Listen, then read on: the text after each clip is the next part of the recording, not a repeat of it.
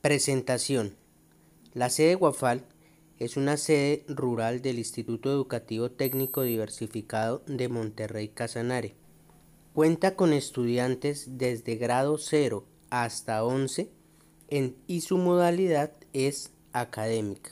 Pero por ser campestre se ha destacado por tratar de incentivar en los estudiantes el amor hacia el campo, hacia la pertenencia ambiental, a formar ciudadanos con una cultura ambiental. Por esto se tenían asignaturas como agrícolas y pecuarias. Hoy, desde el área de ciencias naturales, articulado con el PARAE, nace el proyecto Biolaboratorio El Fitosabio. Somos la generación ecoambiental del Instituto Técnico Diversificado, sede Guafal. Antecedentes.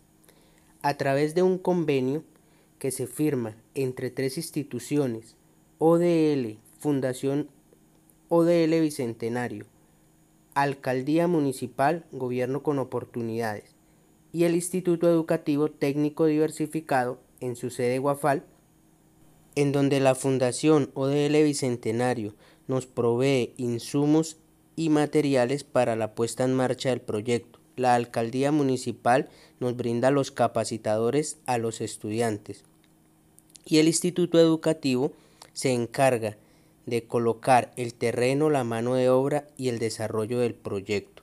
Es así como iniciamos nuestro gran proyecto, Biolaboratorio El Fitosabio. Somos un vivero escolar donde se fortalecen los procesos didáctico-pedagógicos de la enseñanza de todos los niveles educativos. El vivero es bautizado como Biolaboratorio El Fitosabio. Impacta y beneficia a niños, jóvenes y adultos de siete veredas del municipio que se congregan a estudiar allí. Acompañados y orientados por sus docentes, adelantan trabajo. Luego, la institución educativa contrata técnicos especializados que terminan las labores que los estudiantes no pueden realizar. Es así como se realiza el montaje total de la infraestructura que permite el desarrollo del proyecto, cerramiento perimetral, alistamiento de camas de germinación, infraestructura del vivero escolar.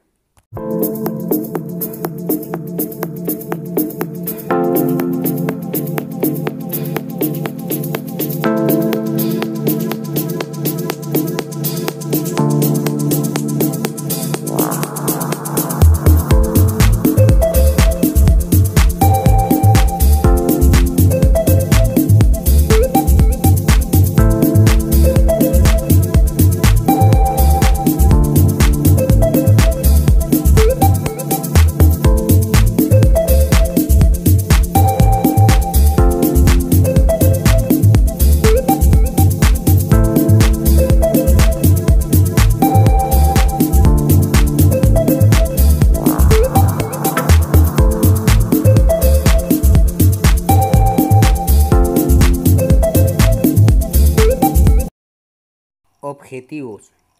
Fomentar la investigación en plantas, fortalecer el área de ciencias naturales y educación ambiental, vincular a la comunidad local regiomontuna y capacitarla en prácticas que contribuyan a mejorar su ambiente, germinar y producir plántulas de especies nativas, maderables, frutales y ornamentales, capacitar en diferentes técnicas aplicadas en el cultivo de plantas y hongos comestibles, contribuir al mejoramiento del ambiente local y regional.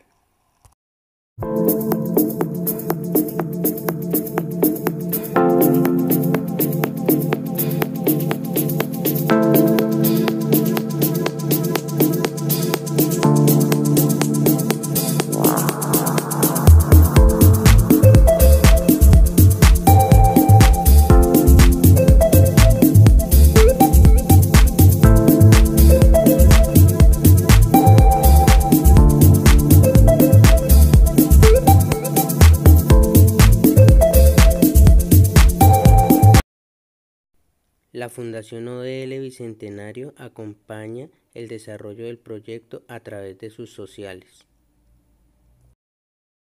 Resultados. Una vez terminada la infraestructura, procedemos a la demarcación de cada una de las zonas con las que cuenta el vivero El Fitosabio. Zona de bodega e insumo de materiales. Zona de desinfección. Zona de germinación. Zona de crecimiento. Zona de preparación de compost. Zona de lombricultura. Zona de hidropónicos. Zona de frutales y platanera y hongos comestibles.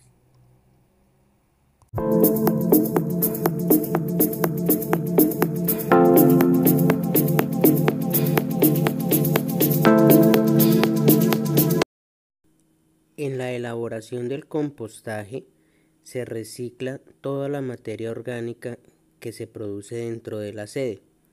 Esto entendemos papel, desechos de árboles, restaurante escolar, entre otros. Actualmente esta recolección la realizan los estudiantes a cargo de la licenciada Marlene Ruiz. Estos son de primaria. Entre todos recolectamos, cargamos, hacemos jornadas de limpieza aprovechando esta materia orgánica para producir nuestro propio abono y compostaje. A este se le agregan bacterias biodegradantes para acelerar el proceso. Aquí vemos trabajando en una jornada de limpieza, recogiendo esa materia orgánica y llevándola al sitio de compostaje, donde después los estudiantes refuerzan con teoría, consultan, averiguan y elaboran el compostaje.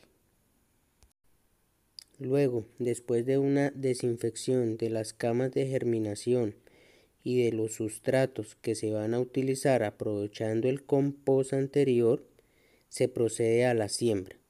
En la siembra se seleccionan las semillas, se, se rotulan de tal forma que permitan la sistematización del conocimiento de forma organizada en una bitácora que llevan los estudiantes como diario de campo.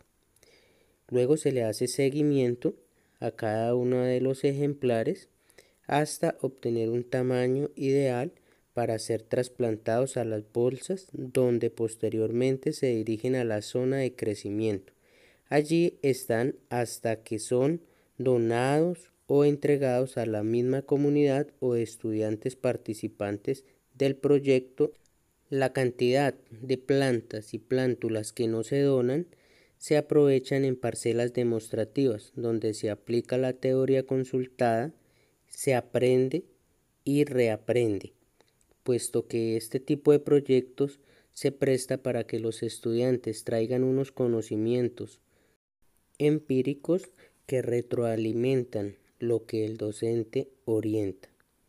De esta manera se lleva a cabo el proceso total de la transmisión de tecnologías, técnicas, de diferentes formas de cultivo y propagación. En las imágenes observamos algunas de las especies que actualmente tenemos en el vivero, la propagación de los frutales y de la huerta o platanera también forma parte importante del proyecto. Tenemos una parcela demostrativa de caña, cítricos, plátano, dentro de las variedades de la región.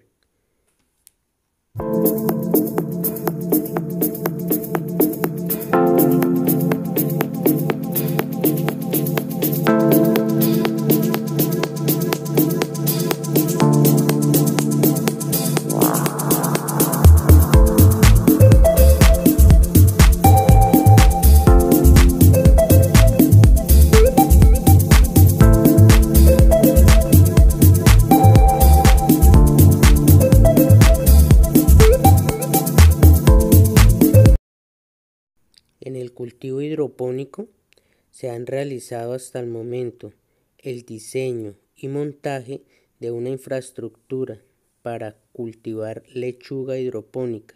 Hemos disfrutado de dos cosechas, las cuales se han degustado entre los mismos estudiantes, fomentando así el consumo de alimentos sanos y de legumbres.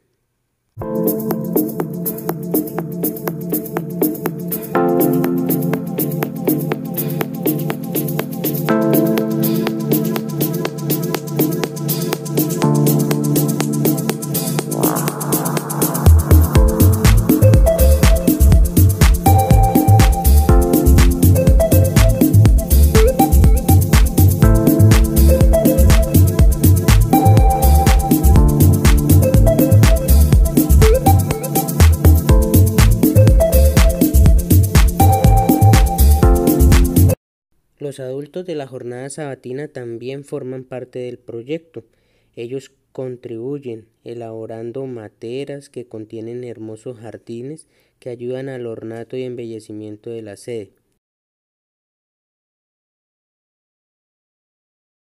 Dentro de los resultados obtenidos con el cultivo de plantas aromáticas se ha hecho el proceso completo de corte, reducción, desecación y posterior empaque en tisanas aromáticas.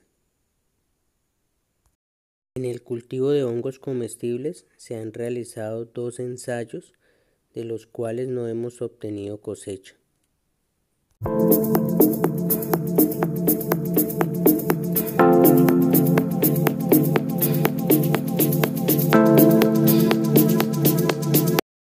Desarrollo del proyecto se han realizado reuniones de socialización en donde se han hecho donaciones de plantas que las reciben la misma comunidad, los padres de familia y residentes locales. Estos árboles son plantados en las fincas aledañas e impactan positivamente el ambiente local.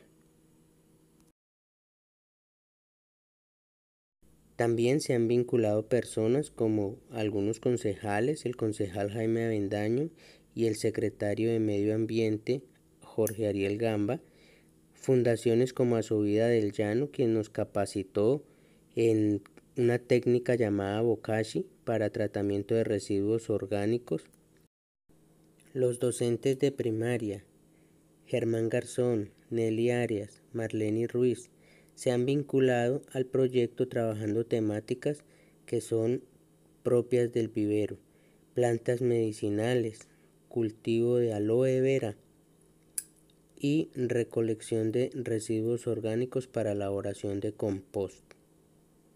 Los otros docentes se han vinculado a través de asesorías y colaboración con el desarrollo del proyecto. Esto hace que sea un proyecto interdisciplinar.